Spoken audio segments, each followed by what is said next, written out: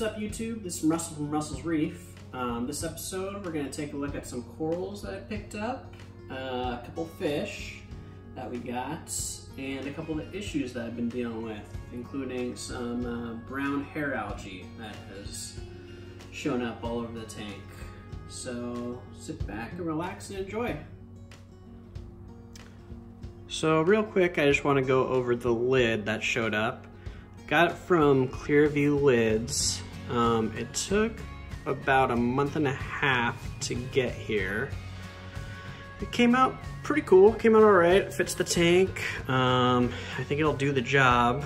My wife said it looks janky, but I don't think she's seen any other lids on tanks, so at first when I got the tank, she's like, we're really gonna have that wide open with no top on it?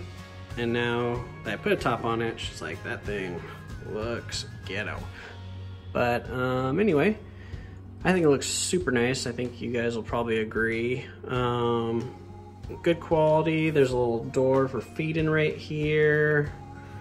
Uh, fits the tank, so that was my main worry. I had to do the measurements myself, so I gave a little wiggle room just in case because I didn't want it to be too big and uh, it fit cool. Um, one thing, it does stop at the overflow section so it doesn't cover the back, which kinda sucks. I mean, it'd be nicer if it went all the way back. I think it'd look a little cleaner, but um, I think it'll do. So as far as the tank, or as far as the lid, uh, I'd probably give it a maybe four out of five. Um, it did take a while to get there, uh, get delivered. It was delayed about two weeks and it was pretty expensive. So I think this one was like, I don't know how much, but pretty expensive. So yeah, there's the lid. Clearview lids is where I got it from. So here are the coral that I picked up. Um, I got two polyps of Bowser's. Those were pretty expensive. They look like they're doing all right. I've actually never had luck with these. They usually die on me, so we'll see what happens. Um, I also got a couple polyps of the Sunny D in the back. You can't tell with this lighting, they look kind of browned out, but when the lights are on, normal looks, they look pretty sweet. They're very bright. Um, and then got the scrambled eggs in the front, again, not really their true color showing through. And then some gobstoppers, and I guess something like Dragon Ball or something. They look like orange Bam Bams to me. So yeah, that's that's a little zoa rock, so hopefully they all grow in. And then I just picked up uh, two caps, so get those started, see how uh, they work out. Kind of just test her SPS as I continue to dose calc and see how that works out. And I also got this sweet Duncan. It is bright green. Um, Sorry, I got like four big heads and a couple babies, so that thing will go pretty quick, I think. Let's see if I can get a better shot of the side of it. Uh, it's a lot prettier in real life, but kind of get the get the idea. Let's see what else we got here. So there's the lawnmower Blenny. Um, literally just put this guy in there, but I think he should take care of all that ugly brown hair algae. As you can see, he's already doing it. And then I got this wrasse, so yellow coris wrasse. This guy is awesome. He's already out and about, eating, hunting for pods. Just real cool fish. And then I also have uh, Midas Blenny in here. He's hiding right now, but he's somewhere back there. We'll definitely get some pics of him once he's uh, more acclimated. Uh, as you can see, we got a little bit of this brown hair algae growing. Um, it's just growing on the Stax rocks mostly. Uh, I'm not too worried about it, actually pretty excited about it. I think it'll be fine. Um, so what I'm going to do is I already removed all the other algae off the back wall. So now it's just the stack. So I'm gonna let it grow a little longer and then I'm gonna try to trim it up and then hopefully my lawnmower Blenny will take care of the rest. Um, but it's pretty crazy because as you can see, it's only growing on the stacks rocks really. All the other rocks are pretty good and the one piece of live rock has pretty much zero algae growing on it. So if you're doubting the power of live rock, there it is. I mean, that live rock is completely bare and the coralline is growing nicely and then all the dead rock is just covered in this junk.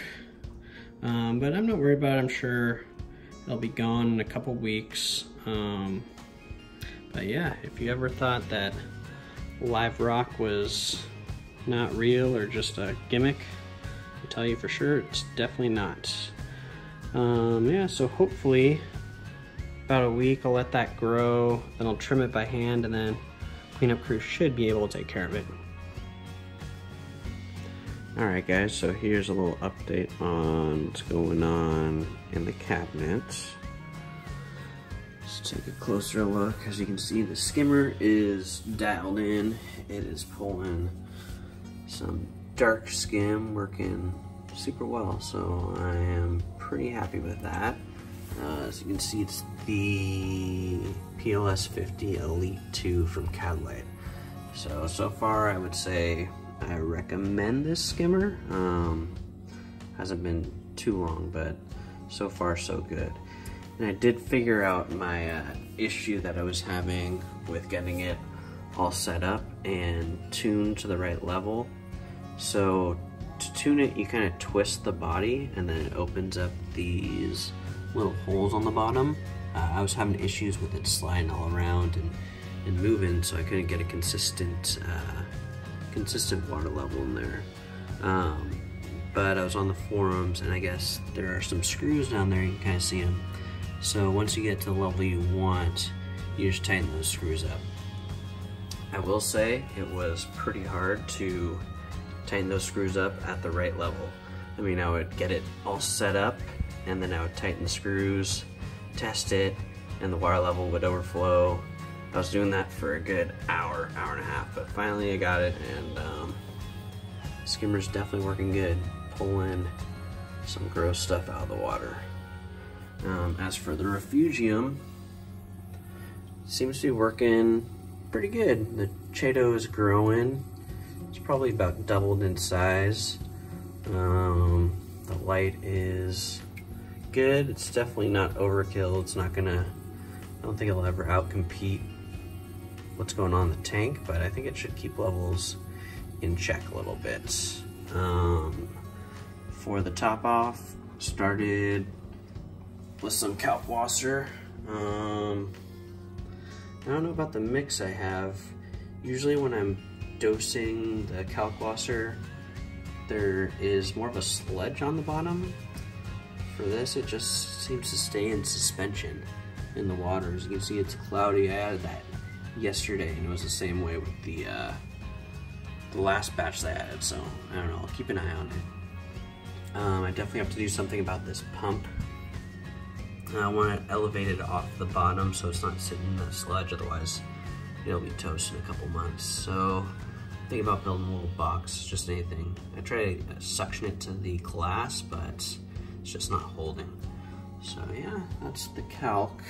Um, I've dosed calc before in the past, uh, had good experiences, so I'm gonna try it out, see how it works again.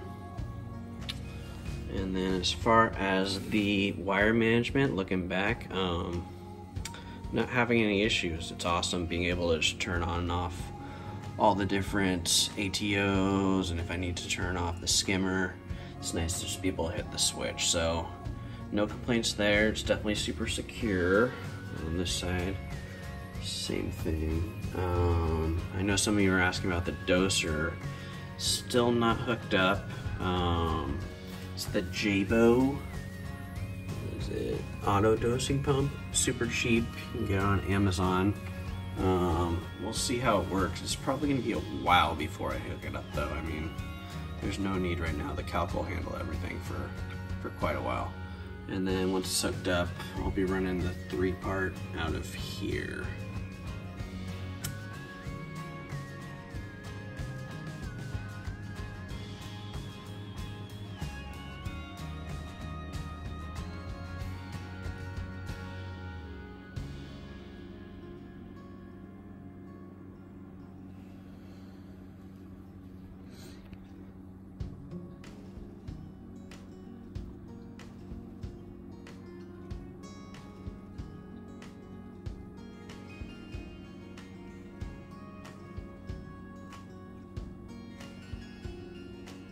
Oh, here it is.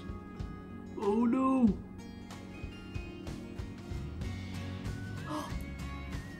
Oh. Oh, he lost his claw. He just ripped off that guy's claw.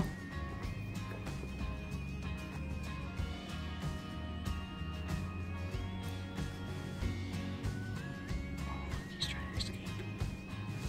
Look at, uh, look at.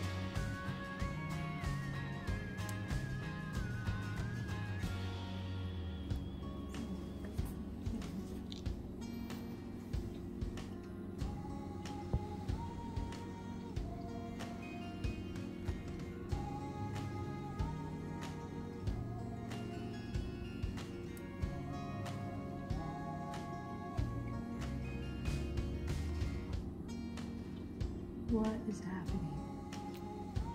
Dude, the red dude's over it. He lost his claw and now he's like, oh, I'm screwed.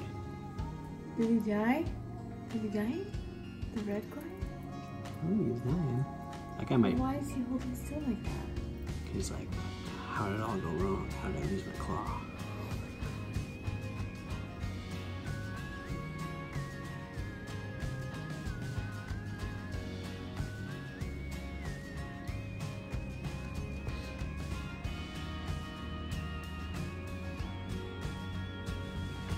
He just went behind him and jacked his shell back.